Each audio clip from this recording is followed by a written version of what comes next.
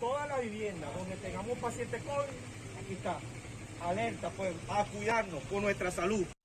Según la información difundida en sus redes sociales, el alcalde chavista del municipio Sucre de Yaracuy, Luis Adrián Duque, también decretó multas de 5 dólares a quienes quiten los carteles, grabar un video y hasta suspenderles el programa de alimentación CLAP y el servicio de gas a los reincidentes.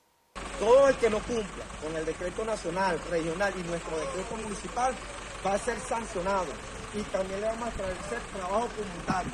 Defensores de derechos humanos advierten que esta práctica transgrede el derecho a la intimidad, vulnera la dignidad humana y promueve la discriminación, contrario a lo que establece el artículo 69 de la Ley Orgánica para la Salud. Como en Venezuela el Estado eh, no presta servicios, en general es un Estado que ha abandonado sus funciones, se ha roto la institucionalidad, lo que hace es que castiga. Luego de la polémica que generó esta acción, el fiscal general de la República, alineado con Nicolás Maduro, anunció el inicio de una investigación contra el alcalde.